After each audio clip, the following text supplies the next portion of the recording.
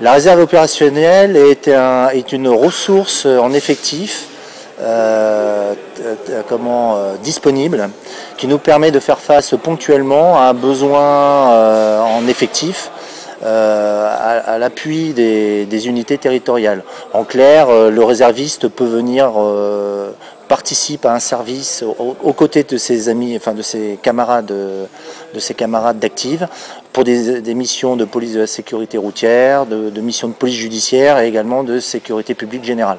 Alors euh, ici vous êtes en pleine euh, formation euh, pour les préparations militaires gendarmerie où il est question d'instruire d'instruire 150 jeunes au métier, au rudiment du métier de, gendarme, hein, pour lequel ils sont destinés dans d'ici comment les, les prochaines semaines.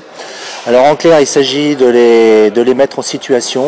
Pour aujourd'hui, nous sommes dans des ateliers de mise en situation d'intervention professionnelle, ce qui comprend, si vous voulez, la, la comment, la, la, maîtrise sans armes de l'adversaire. Avec, euh, avec ou sans armes de l'adversaire.